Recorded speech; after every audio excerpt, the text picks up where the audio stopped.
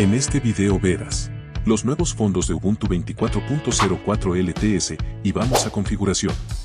Y le daremos donde dice apariencia. Aquí nos saldrán los fondos de escritorios.